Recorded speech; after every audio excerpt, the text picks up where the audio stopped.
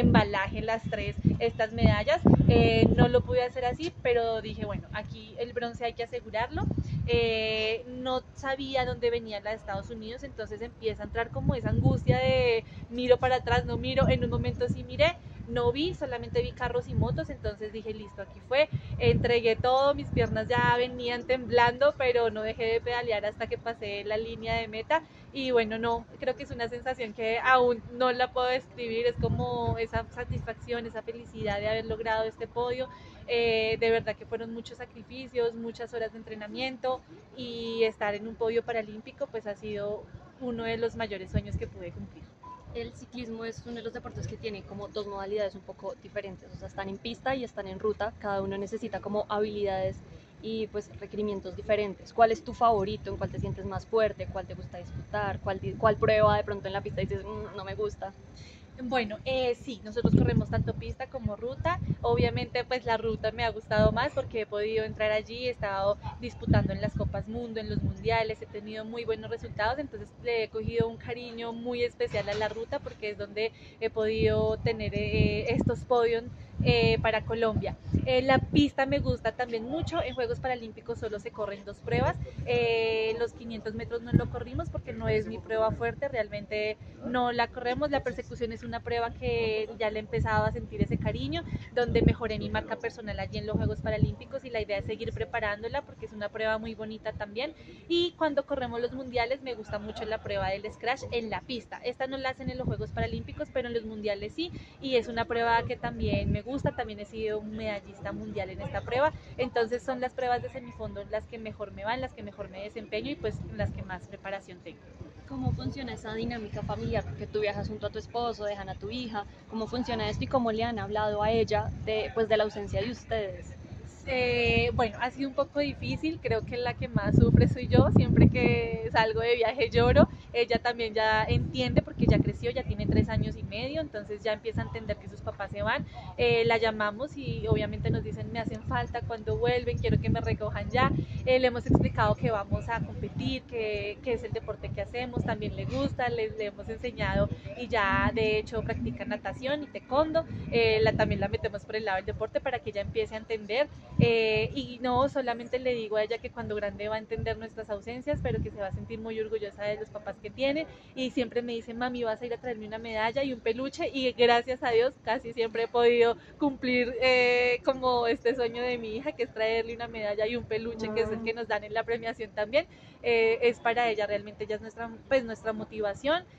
gracias a Dios tengo mi mamá y mi papá que quienes se han hecho cargo de Isabela y para ella ni, no, ni siquiera le dice abuela, sino le dice mamá también. Ha sido una mamá más para ella, entonces es muy bonito y lo que te digo es un sacrificio bastante duro dejarla porque no son 8 días, 15 días, ¿sabes? Este año han sido meses que no hemos podido estar con ella, pero creo que ya llegará la recompensa de poder compartir con ella mucho tiempo. Eres también un claro ejemplo de la consistencia, o sea, seis diplomas paralímpicos para llegar a una medalla. Lo que comentabas ahorita en Tokio fue por photo finish, que se escapó ese podio como, como, como un mensaje de trabajar y no parar, no, no desistir hasta llegar a ese objetivo. Sí, bueno, eh, los sueños sí se cumplen, a veces se demoran. Siempre he dicho hay que persistir, persistir y nunca desistir. Eh, si tú tienes clara una meta, hay que trabajar por ello. Eh, el trabajo constante, la responsabilidad, la puntualidad, creo que es lo que nos caracteriza como deportistas y esas ganas de luchar hasta que cumplamos nuestros sueños. es muy bonito después de tres años de Tokio haber hecho una preparación y hoy poder decir que sí valió la pena, que sí sirvió la preparación, que sí han servido todos esos sacrificios que hemos hecho. Yo digo que los sueños que tenemos siempre se demoran, pero desde que tú los tengas claros, eh, vamos por ellos a cumplirlos. Y no solamente en el deporte, sino para la vida diaria, la vida cotidiana. Si uno quiere conseguir, no sé, su vivienda, un trabajo, hay que lucharlo, hay que estudiar, hay que persistir y todo se demora, pero pues digo, nada es fácil en la vida. Si fuera fácil, todo tendríamos pues lo que quisiéramos ya. No es fácil, pero, pero sí se cumple. Eh, no sé si nos puedes ayudar con detalle de la medalla, explicándola, mostrándola, cuánto pesa. Bueno, eh, es pesada realmente, bueno, no sé cuánto pesa, pero sí es pesada. Como pueden ver y lo dijeron, tiene una parte de la Torre Eiffel, la cual es esta. Eh, nos dieron un certificado de que si es así, nos dieron el certificado de, de que tiene una parte original de la Torre Eiffel. Eh, aquí atrás ya pues se ven los ajitos paralímpicos. Eh, también trae en braille para las personas con discapacidad visual. aquí en un lado dice París y en el otro lado dice 2024. Y esta partecita, como la puedes ver, es la parte de abajo de la Torre. Y aquí también un detalle muy lindo que es eh, aquí en el borde, dice la prueba en que competimos, que se llama Paracycling Road, o sea, la ruta, eh, Women's, mujer, categoría C4, C5 eh, y la carrera. Entonces es muy linda porque dice la prueba que se compitió y, y pues que es de, de Paracycling. para finalizar, un mensaje pues para nuestros seguidores de Deporte Colombiano. Bueno, eh, gracias a todos los seguidores de Deporte Colombiano por haber estado con nosotros, por habernos seguido, por haber apoyado el deporte paralímpico, por hoy hacernos visibles. De verdad que, como decían todos mis compañeros allí en la rueda de prensa, hoy agradecemos a todas eh, la prensa que se ha unido para hacernos visible y bueno, a ustedes también muchísimas gracias, mil bendiciones y un abrazo desde acá. Gracias. Seguimos con la medallista en Construyendo Ciudad en Bogotá, Región Impacto Deportivo. La parte mecánica, eh, hay que nombrarlos también, al delegado, Jaime Silva, y a los demás, al técnico. ¿A quién hay que mencionar, Pau? Claro que sí, en la parte mecánica estuvo Duan Agudelo, quien nos ha acompañado bastante tiempo al ciclismo paralímpico, él ha estado en varias competencias mundiales, Copa Mundo y hoy nos acompañó pues al, a, al, a los Juegos Paralímpicos.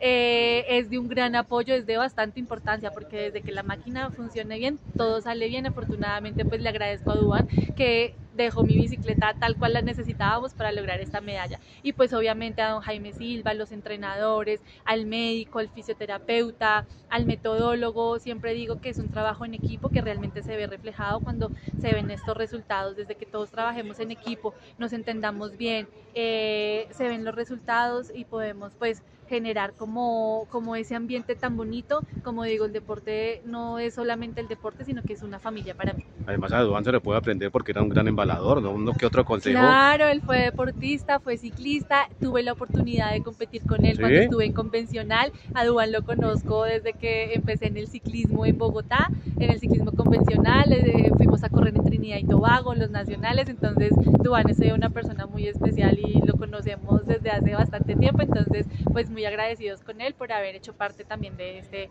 de este resultado. Y de cierre, en París eh, estuve en los convencionales, la ministra dijo que no, pero no encuentra unos reductores de velocidad ni encuentra policías acostados. ¿Ustedes encuentran esa diferencia cuando corren, Paula? ¿O no? Sí, claro que sí, fue una ruta muy bonita, no había reductores, no había absolutamente nada, gracias a Dios, no, no, no. Es más, en una parte que había un reductor bastante grueso, era en dos carriles y quitaron eh, quitaron uno para nosotros poder hacer bien pues la competencia, entonces no habían huecos, no había nada, no había peligro de, nada afortunadamente, entonces también pues se abona a la organización de París 2024 por haber hecho pues logísticamente la ruta para nosotros. ¿Y a quién le brinda la medalla? No, esto de todos, primeramente Dios, mi familia, eh, Bogotá, Colombia, Ministerio, eh, no, a todo mi equipo de trabajo, mis entrenadores, mi esposo, mi hija, Elías, no, esto es para todos y para Colombia.